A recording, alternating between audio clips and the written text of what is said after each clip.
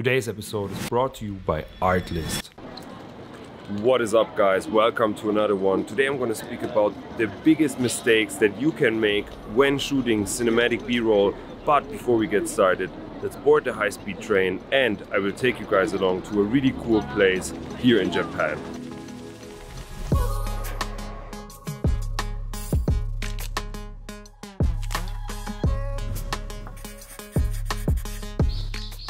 Okay, one mistake I want to speak about is forgetting the establishing shot. Forgetting to include establishing shots in your B-roll is a pretty common mistake that I see a lot of people make that will really, really impact the quality of your footage. An establishing shot really helps your viewer to understand the scene and kind of establish of what is going on in your B-roll. If you forget to include that, then your viewer is quite likely to feel like confused and doesn't really know what's going on. And without them, your video can easily feel like very disjointed and even confusing. So make sure to always kick off with some establishing shots. Bike. So make sure to always, always include establishing shots to help your audience understand the setting, the context, what is going on, who's kind of the main guy in the video, what's the main narrative. Now I'm gonna head over to the bamboo forest and try to get a couple of cool shots and then I'll see if I can find more sakura trees and obviously get more footage and bring you guys along. So let's go.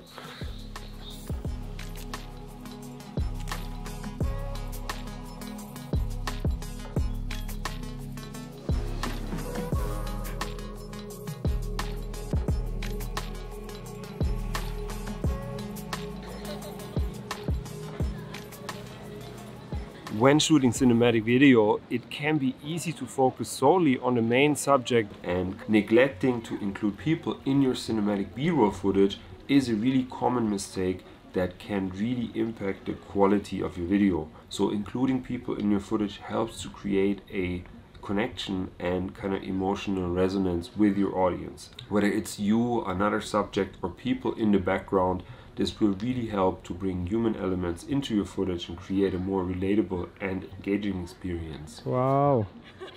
So you just have to overcome your own demons and just kind of approach somebody and ask for a portrait or something.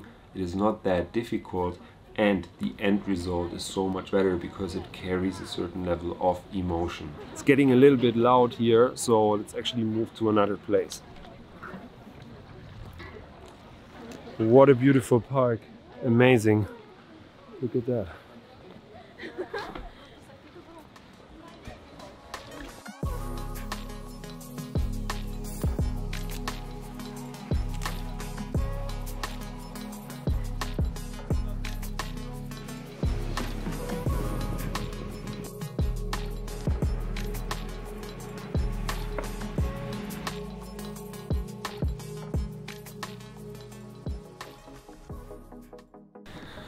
Good morning, it is 6 a.m. and I'm on my way to one of the most touristy sites. Cherry blossom is blooming all over the city, looks absolutely fantastic. On a side note, I got a little lost and it's also quite cold actually. For springtime, it is very, very cold. Hopefully I will get some really cool photos because it is a very popular spot. But let's hurry up and see what I can do. Watch out. Okay, I just made it here, but there are already quite a few people actually, which surprises me. But it looks very cool. Wow.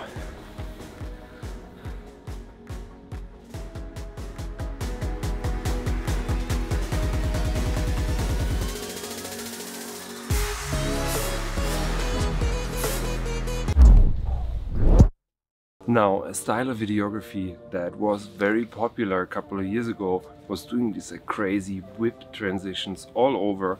However, that is something that I don't really recommend. It's one of the biggest mistakes in my opinion because it can really distract from your actual story. So don't focus on crazy transitions and effects and all of that stuff. Use that very thoughtfully and sparingly and only when it truly serves the story that you're trying to tell and this will ensure that your b-roll feels a lot more polished and professional and not overdone and cheesy. So I will show you an example of a section of b-roll that uses that only sparingly and focuses more on static and clean shots and it looks a lot more professional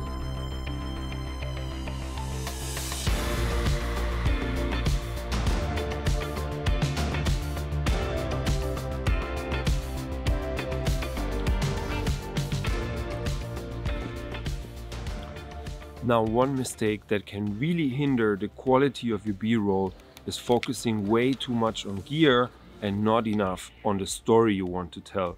Super easy to get caught up in the latest and greatest like camera equipment or accessories but ultimately the gear you use is just a tool to help you tell your story and the most important aspect of your footage is the message you're trying to convey so make sure you put that front and center when you're shooting and use your gear to support that story and not the other way around. This will help you to make things a lot more meaningful and impactful in the end. Now I found this really cool section of bamboo trees which I think not too many other people have noticed so I'm gonna walk around here a little bit and see if I can get another cool shots without like too many people. Without exaggeration there's like a thousand people arriving at the spot right now so I'm gonna be heading home. Happy with the shots, I think.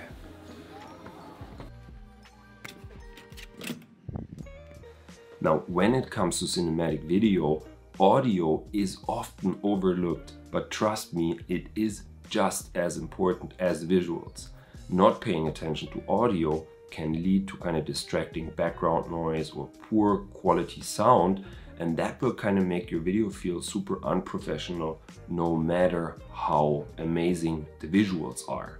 So make sure you always use an external microphone to record audio separately if possible and pay attention to the audio levels and adjust accordingly. And always keep an ear out for unwanted sounds or distractions. Remember, Great audio can enhance the overall quality of your cinematic b-roll footage, so don't forget to give it the attention it really deserves. Now Artlist is an all-in-one licensing platform that provides not only huge amount of assets like stock footage and this kind of stuff, but also a vast library of high quality music tracks for filmmakers and video creators. The platform is particularly useful for cinematic B-roll as it offers a wide range of cinematic and atmospheric music tracks that can really enhance the mood and tone of your footage. With Artlist you can easily search for and license music tracks that fit the specific style and vibe of your project without having to worry about copyright issues. The platform also provides easy to use licensing options which allows you to use the music and assets in your projects without any additional fees or complications. Overall, Artlist is a fantastic resource for filmmakers and video creators who want to elevate the quality of their cinematic b-roll footage with the perfect musical accompaniment. When you compare the pricing of Artlist with that of other similar services, you'll notice that it has become like quite affordable actually. For instance, the creator plan enables licensing for social media at the starting price of only 9.99 US dollars, while the professional plan, which allows you to use Artlist music in client productions, costs around 17 US dollars. They also recently launched a new product which is called Artlist Max and that includes all the editing assets and presets and this kind of stuff and that will cost about 39 US dollars per month. Overall, I feel this is a significant reduction in cost compared to the past with the link below, you get like two months extra, so make sure you check out Artlist. Now one mistake that can really set you back when shooting your cinematic b-roll is failing to review and analyze your footage as you go along.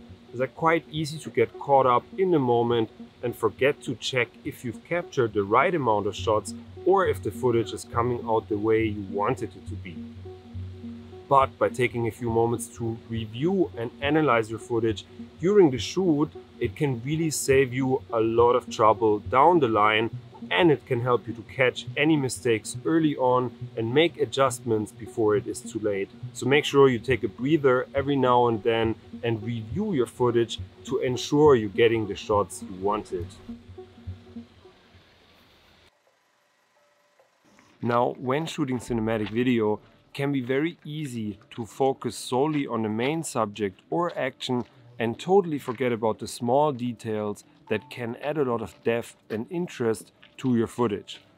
These details can include things like close-ups or shots of hands, certain details on clothing or other subtle movements or expressions. By including those small details, you can create a more engaging and immersive viewing experience for your audience and they will also help to convey a certain level of emotion or mood or provide a sense of texture or richness to your footage. So don't forget to pay attention to the small details when you shoot your b-roll to make your footage a lot more impactful and memorable. The sun is setting right now. I'll be heading back to the hotel to look through my footage and then I have a couple more tricks for you guys. Okay, another mistake is overshooting. That really makes a headache while editing later on. And it can be a little bit tempting when you're shooting cinematic b-roll, but trust me, it can create a major headache when it comes time to edit. So it's very easy to get carried away and film every single thing that you see that comes in front of your lens, but this can really lead to a mountain of footage that is quite difficult to sort through and make sense of. Instead, I recommend to focus on capturing the shots you need for your project and avoid overshooting. This will not only save you time and energy during the actual editing process, but it will also help you to stay focused on the story you want to tell through your footage. So remember, shoot with purpose and avoid overshooting to make editing much smoother and a more enjoyable process. Okay, another mistake that can really set you back when shooting cinematic b-roll is not having a shot list at all. A shot list is a crucial tool that helps you to plan out the shots you need for your project and ensures that you don't miss out on any important moments. Without a shot list, you may find yourself like kind of aimlessly wandering around, shooting and missing out on key shots that would otherwise elevate your footage. So take the time to do a little bit of prep work and create a shot list beforehand and refer to it often to make sure you're capturing everything you wanted and everything you need. Your future self will really thank you for that. Now, to wrap things up, shooting cinematic b-roll can be a challenging task, but with the right techniques and preparation, you can avoid making very common mistakes Remember to always plan your shots and have a clear idea of the story you want to tell. Be mindful of the sound quality. Don't forget to shoot more footage than you need without mindlessly overshooting, of course, and always check your camera right after you nail the shot. By avoiding those mistakes and incorporating these tips, you'll be on your way to create stunning cinematic b-roll. I hope you found this helpful. If you did, leave a like and if you want to, we can hang out here in the channel in the future. All you have to do is subscribe. And with that said, I wish you all the best for the next video and I'll see you guys later on.